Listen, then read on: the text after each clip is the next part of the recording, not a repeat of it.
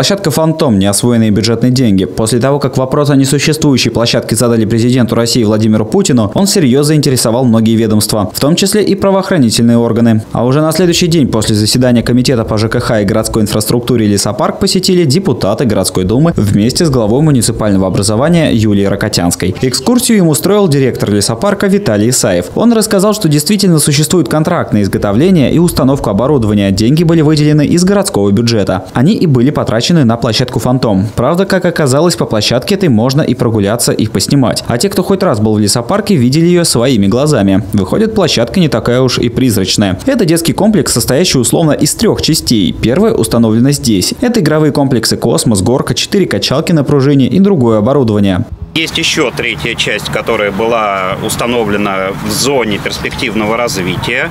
Вот. Но в связи с тем, что нашему учреждению передана в подведомство территория пляжа в поселке Солоча на реке Старица, э, мною, как директором учреждения, было принято решение, что вот этой вот площадки, по нашим наблюдениям, в принципе, достаточно для жителей. Вот. Э, что касается пляжа э, на реке Старица, то там нету ни одного детского оборудования оборудования. Поэтому мною было принято решение 6 мая этого года демонтировать это оборудование. Есть соответствующий акт, есть соответствующий приказ. 15 э, мая оборудование было демонтировано. Э, в срок к 1 июня это оборудование появится на пляже на реке Старец. Еще одну часть планировали расположить на территории, которой благоустройству только подлежит. Но финансов на это уже не было. А устанавливать площадку на голом поле тоже вариант не лучший. Поэтому ее поставили на Соборной. Дело в том, что сумма 4 миллиона, она действительно неточная. 4 миллиона 900 тысяч потрачены на детское оборудование и на спортивное.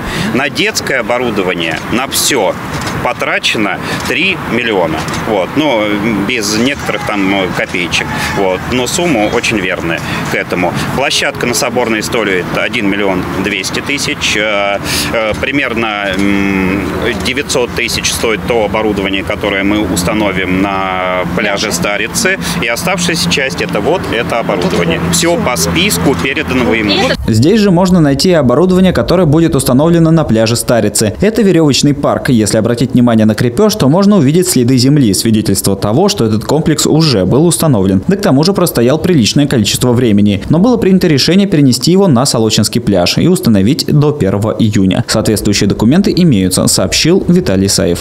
Вот это вот первая площадка Центра уличного спорта под мостом, э, тренировочная зона, зона воркаута. Вот все оборудование, за исключением теннисных столов, которые находятся здесь, было приобретено э, в счет вот этой вот суммы 4 миллиона 900 тысяч, о которой мы говорили.